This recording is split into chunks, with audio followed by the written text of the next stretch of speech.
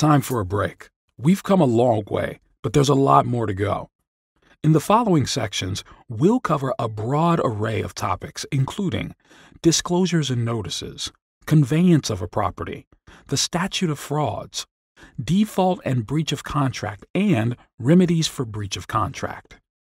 The subjects we're about to tackle cover the issues that arise in contract situations from multiple angles.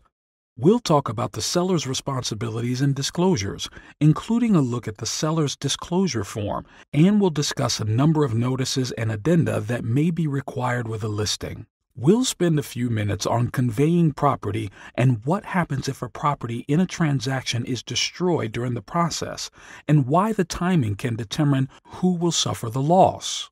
From there, we'll review the role of the signatures and the statute of frauds in the contract process, and then wrap things up with an in depth look into breach of contract issues, as well as the defense and the remedies available for breaches.